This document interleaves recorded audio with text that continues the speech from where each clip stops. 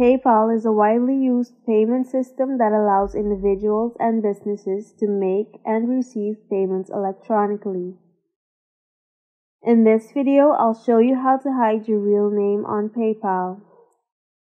First, sign into your PayPal account on your desktop. Make sure you have your login credentials ready. Once you're signed in, look for the settings icon. It's usually located at the top right corner of the page. Click on the settings icon to access the drop-down menu. From the drop-down menu, locate and click on the Update option. A new page will appear. Here, you'll find different options related to your account settings. Look for the section that allows you to change your name.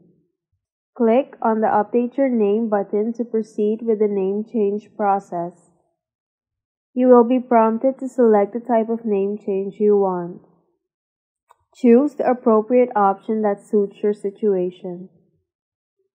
Once you've made your selection, click on the Update button to save the changes.